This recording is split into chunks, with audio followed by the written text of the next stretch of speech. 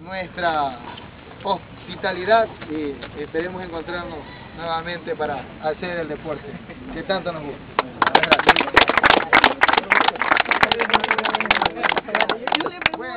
Bueno, me piden que, que entreguen los trofeos de campeones a...